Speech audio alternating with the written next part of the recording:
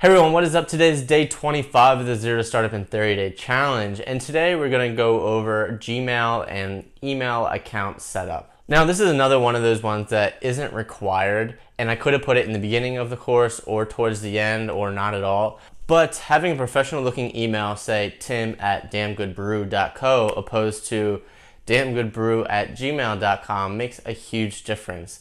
It makes you look more professional and you can start reaching out to other people, maybe for suppliers or potential customers. If they see you using just a regular Gmail account, then they're not really going to take you seriously maybe all the time. But if they see your brand as your email domain, then it gives you a little bit more legitimacy to your company. Thus far, we've leveraged a ton of free resources that don't really require us to pay up front until we start getting a ton of users.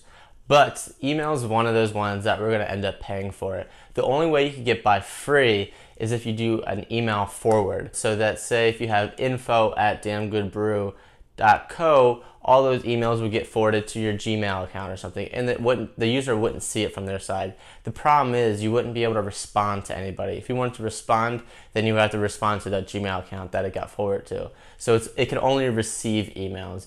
So that's why we're going to go ahead and set up our own business email and we're going to leverage Gmail. So just like you have your Gmail account, you log in, you see your email, you could do the same thing with a Gmail business account, but instead of say tim at gmail.com, it'll be tim at damngoodbrew.co.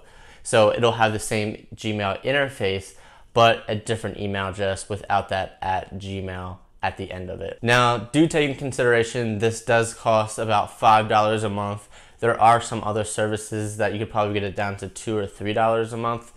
But I really like using Gmail. It's what I use for my regular email all the time. So it's easy to just use the same app for business and personal email and switch back and forth within the app.